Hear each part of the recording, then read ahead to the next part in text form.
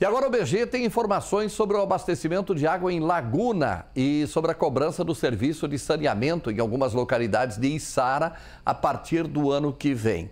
Quem vai nos atualizar com essas informações aqui no Balanço Geral é a repórter Raquel Schneider.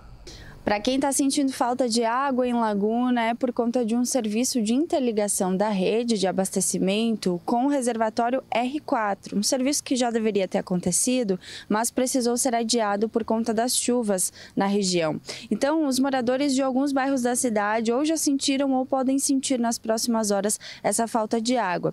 São os bairros Mar Grosso, Magalhães, Vila Vitória, Ponta das Pedras e Navegantes. O serviço começou por volta das 7 horas da manhã está previsto para seguir até as 3 horas da tarde e é necessário haver interrupção do abastecimento para que essa interligação aconteça, mas o retorno vai acontecer de forma gradativa. Então, é aquele transtorno temporário por conta de um serviço que é necessário. E temos informações também relacionadas à rede de tratamento de esgoto, à rede de saneamento e abastecimento também no município de Sara.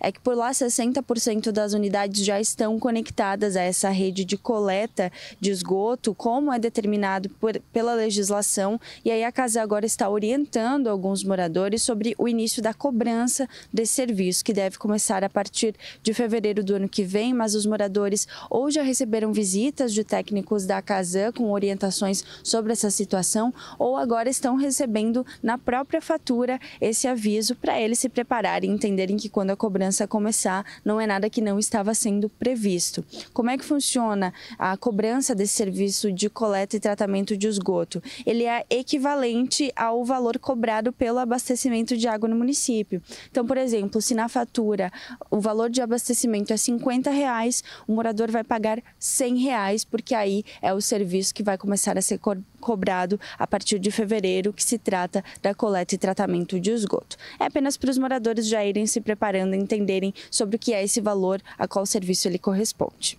Eu volto para o estúdio.